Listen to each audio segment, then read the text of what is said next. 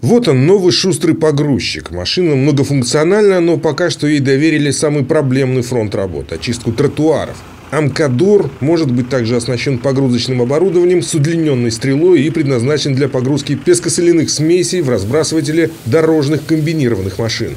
В этом году на закупку техники областной бюджет направил 41 миллион рублей, городской – почти 3,5. Мэрия закупила самую нужную технику прямо сейчас – погрузчики Амкадор-211 и тракторы Кировец К-525. Сегодняшний день в дирекцию благоустройства закуплено дополнительно 7 единиц техники. Благодаря поддержке правительства Рязанской области в городе уже сегодня трудятся 5 новых амкадоров на уборке тротуаров.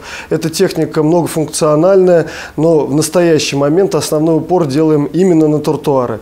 Также сегодня проходит оформление два трактора К-525, которые будут работать в основном на грейдировании на окраинах нашего города. Впрочем, на этом пополнение общего автопарка сегодня не закончилось. В Рязань прибыла партия школьных автобусов. Все машины, по словам губернатора, губернатора Павла Малкова вместительный на 29 мест. Они оборудованы системами ГЛОНАСС и тахографами. Из 10 поступивших автобусов два оставят в Рязани, остальные отправят в районы.